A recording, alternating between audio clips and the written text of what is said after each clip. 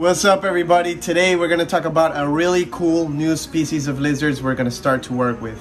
They are the Japanese cave geckos and we actually have a little bit of variety of them. We're going to show you the different types and colors that, that we have and uh, we're very excited to work with these guys.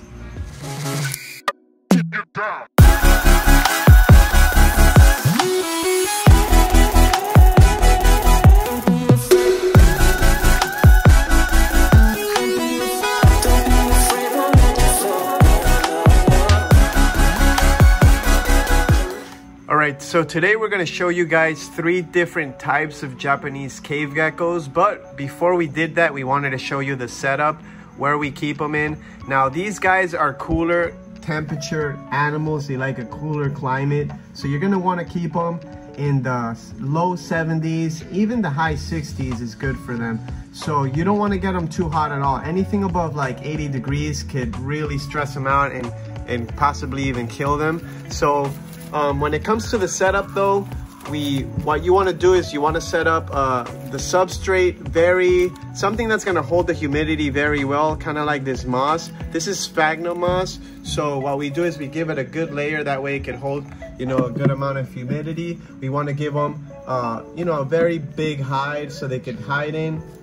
I also like to give these uh, um, bounty roll rolls or whatever so they could hide in as well. Just create a couple different visual barriers with these plants here. And we also like to provide a water dish because depending on where you are, uh, the humidity can escape a lot easier. You know, some places in, even in the same state, some places in Florida will have lower humidity than others, especially when we're talking about indoors, if it's close to the AC or whatnot. But this is one of the Toyami Japanese cave geckos and this is a very rare species. We actually don't get a lot of these at all. And this one here, they're very skittish lizards, not something that you would want to handle or anything, but they are very beautiful as you can see. Now, uh, like we said, high humidity for this species and a lot cooler than some of the other uh, geckos that we usually keep and they are insect eaters so they're going to eat you know a wide variety of insects with the staple being you know gut loaded crickets dusted with calcium with vitamin d3 another look at their enclosure here. Is very simple creating a lot of visual barriers with the plants a couple hides and that's what's going to make these guys happy. Then he scurries out of here so right here, I'm about to show you the most popular of the Japanese cave geckos. When you say Japanese cave geckos, most people immediately think you're talking about this one, and I'll show you exactly why they're, in my opinion, the most gorgeous out of all of them. So these guys have these brilliant orange bands cutting across from all the way from the tip of his nose all the way down to the base of the tail and even some orange like light peachy oranges on the on the tail as well.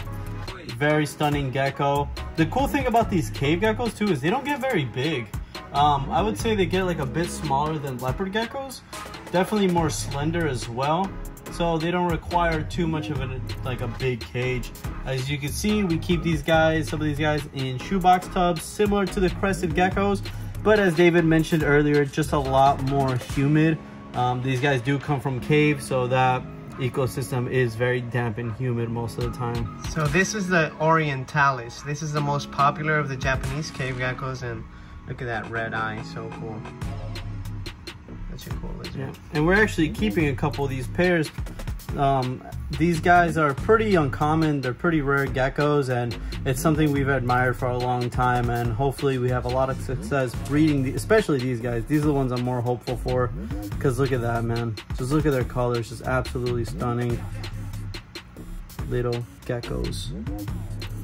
And this one's a male. You can tell from the little hemipenal bulge you can see right there sticking out. Still a juvenile, still young, still has a lot of growing to do, but gonna be a killer, killer project to work with.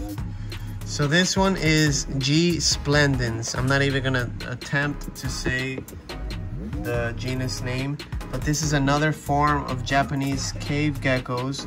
And you see these have a couple, a little bit of different markings. These are called the banded Japanese cave geckos. They're just like a different locality if I'm not mistaken, but very beautiful lizards as well. We set them all up the same exact way. We're gonna see if they wanna eat something right now. Let's see, right in there. Oh, he's gonna eat it. Yep, he got it. So cool. As you can see, these guys have more of that reduced orange patterning in compared to the uh, to the others that we just showed. Um, so that's why it gives them more of a banding coloration, which is where they get their name. Yes. I don't want to bother him too much so he could get a good meal. But um, basically same exact setup. Lots of moss, very humid moss. Uh, we have a lot of visual barriers. These leaves, they will make them feel secure. And a hide right here, they could crawl in that hide. And a little water dish. Temperatures about 75 at most during the day. Mostly like around the low 70s. And at night it could drop into the 60s. And the humidity is gonna be about 80%. So here's another one of the banded Japanese cave geckos. And they are absolutely so beautiful but very very skittish animal. Not something we would recommend if you want to handle your gecko. You almost got like purple bands to them. It's really cool. Look at that. There's some crickets in there. That's gonna freak them out and he's throwing the crickets everywhere except the I thought that one was gonna dangle in front of his face.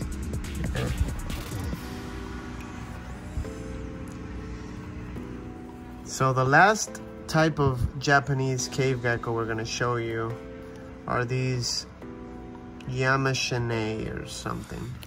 Sorry, can't pronounce that, but they're actually yellow and they are super skittish as well. You can see we're trying not to lose them. Manny, Wait, wait, wait, man, I don't have them yet. Oh crap. They jump too. Don't let them fool you. They jump. They absolutely do jump. Wait, wait. But they're really pretty geckos. So they look they look similar to the Orientalis except they are yellow. And you can see they got those mustard eyes as well. The black background with the yellow banding and overall crazy pattern. But uh just super cool lizards, man and we're keeping these because we want to maybe breed them in the future. We got a male and a female pair. This is the male as you can see. Has a hemipenal bulge like most gecko species. And that's a cool gecko all right guys that wraps up another video thanks for watching and make sure you guys follow us on all of our social media platforms. We have Instagram, Snapchat, Facebook, Twitter, TikTok. I'm running out of fingers. We have so many different outlets. Make sure you follow us on all of them. We do post individual content on every single one of them. So if you like our stuff, make sure you hit that follow button.